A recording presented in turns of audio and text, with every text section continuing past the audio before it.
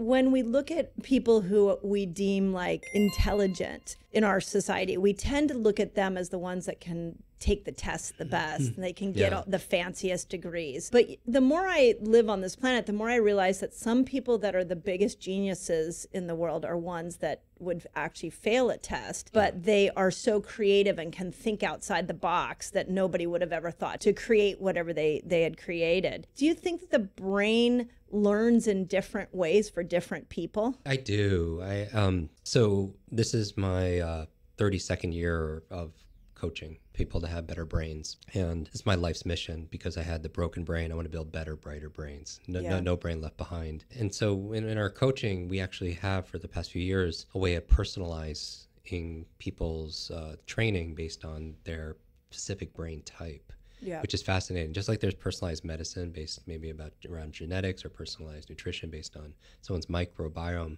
I figured out that there are there are four brain types, and this I'm really excited about this, you know, because we put the research in in the new book. I was going to say this is the new book. yeah, yeah, I love this So idea. it's um limitless expanded. The first one did you know extra, very well. I'm very proud of the work. It's kind of like an owner's manual for your brain, Mm-hmm. and it really focuses on accelerated learning and how to read faster, focus better, improve your memory, and so much more. But um, so I, I pulled to create this assessment, and and I can't wait for you and your team to do it also as well. we will. Yeah, it's uh, only a four minute quiz, and it's kind of like you know how some people take quizzes like uh, which Game of Thrones character or Harry Potter Yeah. you know school. Um, this one is uh, I pulled from uh, personality types like Myers Briggs. I was inspired by various sciences and psychologies, um, uh, left brain, right brain, lateralization, dominance theory, learning styles. Some people like to learn visually, auditory, kinesthetic, multiple intelligence theory out of Harvard uh, from Howard Gardner. And so all these different inspired this, and I realized there's a brain code for all of us. And it's C O D E, which is the acronym. Perfect. And the C is, and I made them fun animals. The C is the cheetah. So the cheetah are the fast actors. And as people listen to this, we put the quiz, the quiz free online. We used to sell it to companies, uh, but you could have it free. It's just at mybrainanimal.com. There's nothing to buy, and you get a detailed report uh, based on your learning style. So the first one is the fast acting cheetah, and these are people who adapt very quickly. They're strong, uh, have strong intuition, you know, also as well. Um, they, they're very dynamic. The O are the owls, and these are your logical individuals. They love data, they love facts and figures and formulas. You know, they love to they make decisions differently than a cheetah in terms of how they live, how they eat, um, how they invest. You know, because it's based on their thinking style. The D are your dolphins, and these are your creative visionaries. These are people who could see a vision, uh, you know, of, of of their business or their life, maybe where other people can't see it. They have great pattern recognition. They're wonderful problem solvers. They're very creative. And then finally, the E are your elephants, and these are your empaths. These are the people that hold you know communities together they love collaboration while a lot of people like learning solo they love to learn social you know also as well and if you think about these different uh, characters if you will it also you see them in pop culture like I don't know, like I mentioned Harry Potter. Like Harry Potter would be a cheetah, Okay. right? Just going out there, very dynamic, you know, going on on impulse and intuition. Uh, Hermione, you know, the, she she would be the researcher. She's the owl, right? Reading all those Okay. books, very astute. Yeah, um, I think Hagrid, who held the the, the the friends together, was really the the elephant. Okay. You know, Dumbledore, the leader, is the visionary. You know, Yeah. the rest are. But you see that everywhere. You could take Star Trek. You could take any pop culture that you can relate to, and we, it's it's interesting As many we had our team go through it, and like hundred percent of the people on our team that are in customer support and experience, they're elephants. You know, they're, Oh my they're- They're there to serve. They have high levels of Yeah. empathy, and there are community managers. So that's you know, our, our CFO is uh, is an owl, and Oh, and you want that person good. to know Yeah, data, that was a good numbers, choice. right? Yeah. And you don't want them necessarily to be super creative, but you want them to really. And so it's it's interesting. You know, our CEO Alexis for 17 years, she's she's our creative visionary. She's a dolphin, Hmm. right? So everybody has their place. So you're getting right people on the bus, but you're making sure everyone's sitting in the right seats also. Can you be like when I just Yeah. hear it explained that way, I see a little bit of myself in all of that. Yeah, when you when you take the quiz, you'll you'll get a, a primary and also Ah. a secondary. Okay. And it's interesting because it's like with people, it's like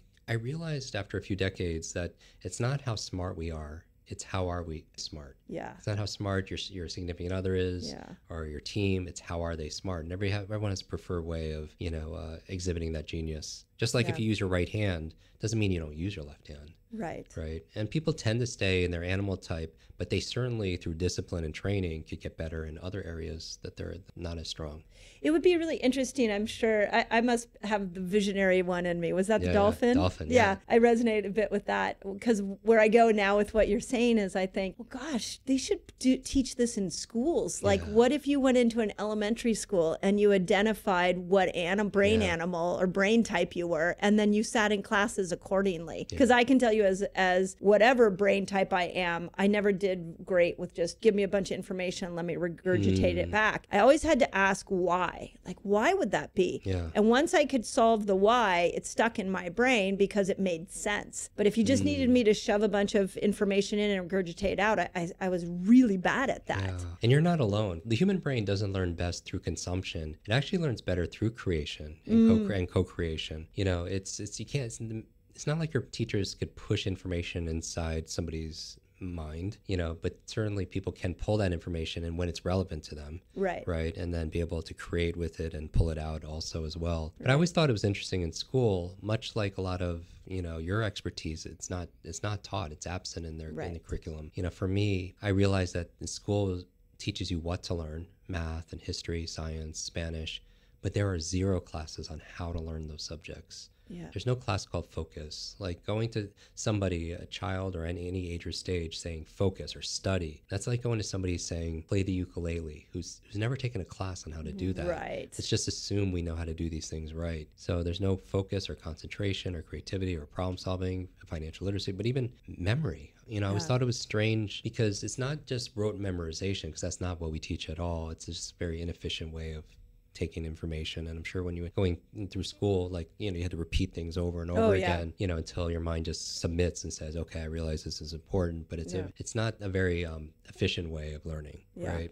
Um, you know it hasn't changed a lot. They say you know we live especially in this area you know an age of you know see these autonomous electric cars you know they're developing technology to go to mars. But our vehicle of choice when it comes to learning is often like a horse and carriage Yeah. or you know horse and buggy it hasn't improved as much as the world has evolved Right. you know right. and so you know wh- when when i'm writing i'm writing on this on brain optimization how to optimize your sleep and and and the best brain foods and all these uh, i mean mental hygiene things but also real strategies on something called meta learning the, the science and art of learning how to learn i think that if there's one skill that anyone who's watching or listening can master is our ability to learn rapidly and then translate that learning into action Yeah. because if you can learn how to focus and understand and read and comprehend and remember everything and implement, you can apply that towards anything medicine, you know, money, marketing, Yes. management, martial Yes. arts, Mandarin, everything gets easier. Because you have a formula now.